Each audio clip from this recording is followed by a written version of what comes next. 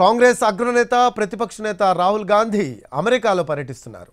మూడు రోజుల పాటు అమెరికాలోనే ఉండనున్నారు. టెక్సాస్ ఎయిర్పోర్ట్లో దిగిన రాహుల్కు కాంగ్రెస్ పార్టీ శ్రేణులు ఎన్ఆర్ఐలు ఘనస్వాగతం పలికారు. ఇవాళ డల్లాస్లో రేపు ఎల్లుండి వాషింగ్టన్ డీసీలో పర్యటించనున్నారు రాహుల్ గాంధీ. ప్రవాస భారతీయులతో పాటు వ్యాపారవేత్తలు విద్యార్థులు జర్నలిస్టులతో రాహుల్ గాంధీ సమావేశం కానున్నారు. రెండు వేల ఇరవై నాలుగు ఎన్నికల తర్వాత ఆయన అమెరికాలో పర్యటించనుండడం ఇదే తొలిసారి.